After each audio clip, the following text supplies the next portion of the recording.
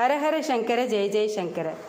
ஒரு பக்தர் கோவிலுக்கு அபிஷேகத்துக்காக தீர்த்தம் கொண்டு வந்து கொடுக்குற கைங்கரியத்தை பண்ணிட்டு இருந்தார் அவர் தினமும் கோவில் பக்கத்தில் இருந்த ஒரு குளத்திலிருந்து தண்ணி எடுத்துட்டு வருவார். அவர்கிட்ட ரெண்டு பானை இருந்தது. அந்த பானைகளை ஒரு நீளமான கழியோட ரெண்டு முனைகள்லையும் தண்ணி நிரப்பி தொங்க விட்டுட்டு அந்த கழியை தோளில் சுமந்துட்டு வருவார். அந்த ரெண்டு பானைகளில் ஒரு பானையில் ஒரு சின்ன ஓட்டை இருந்தது. அதனால் கோவிலுக்கு தண்ணி எடுத்துட்டு வர்றதுக்குள்ளே ஓட்டை பானையில் பாதி தண்ணி தான் இருக்கும். நல்ல பானை ஓட்டை பானை கிட்ட ஒன்னால் ஒரு பிரயோஜனமும் இல்லை.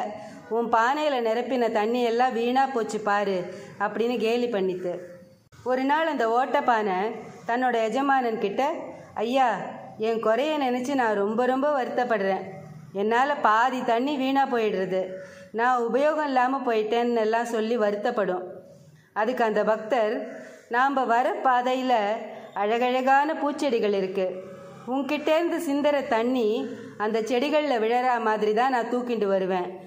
அந்த செடிகள்லாம் இன்னைக்கு பெருசாக வளர்ந்து தினமும் அழகான பூக்களை கொடுக்கறது. அந்த பூக்கள் சுவாமிக்கு அலங்காரம் பண்ண உபயோகப்படுறது.